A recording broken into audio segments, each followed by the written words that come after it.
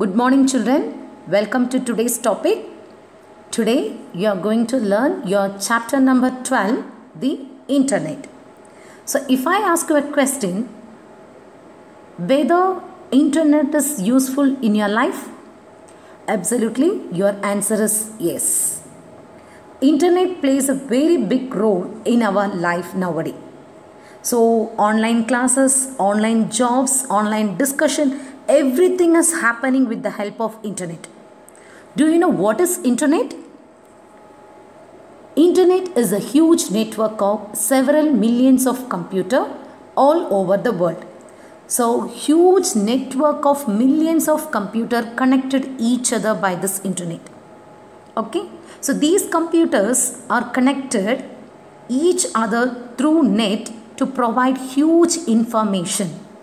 So you can get any information from anywhere in the world.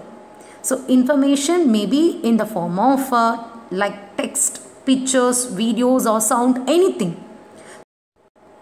You can get whatever information you need from this network through your computer. So any information can be uh, provided by using this internet facility. So if I give you a topic, what will you do? Immediately you will search in internet to find more points. So whatever information you need, you can get the help from the internet. So now we are going to see the next advantage of your internet connection. So internet is extremely useful for everyone nowadays. So like a video conferencing.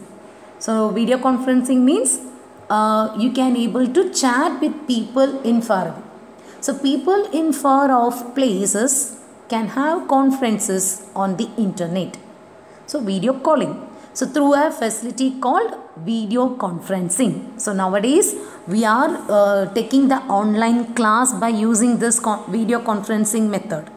So by Google Meet we are having a discussion. We are taking classes. So everything is happening by video conferencing. So they can see and hear each other and discuss a topic without having to leave their room. So now you are sitting before your system and we are taking class, we are discussing topics, we are doing everything. So by using some apps like uh, Skype, Imo, Google Meet, we can conduct the video conferencing mode. Next, we are going to see how to get internet connection. To connect to internet, you need the following things. So one, to connect to internet, you need the following. Number one is computer. So first of all, we need computer. So it is the most common device used to access internet. Next, communication channel. So telephone lines, a cable wires or Wi-Fi's where you are getting a wireless signal. So third one is modem. So modem is a hardware device which converts computer information into suitable form for sending over the communication channel. So by using this modem only, it allows us to communicate with other computer. So that is the use of modem. And the fourth one is a software web browser. So web browser helps to display the text and graphics available.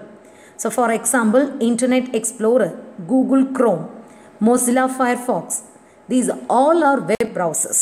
These are some popular web browsers that you guys know. Okay. So internet service provider, that is the fifth one. So who is providing internet to us? Okay. So they are called ISP, Internet Service Provider.